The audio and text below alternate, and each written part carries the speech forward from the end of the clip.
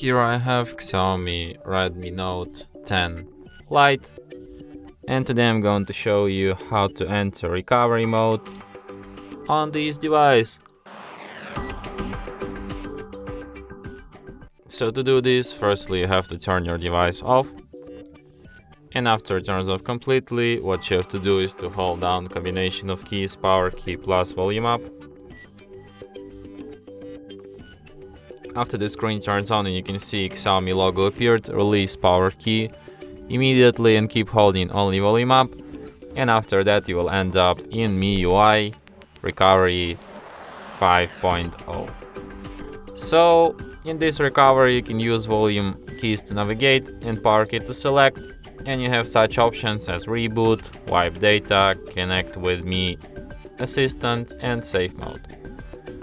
So if you want to quit this mode, just select an option reboot and after that your device will be restarted as usual.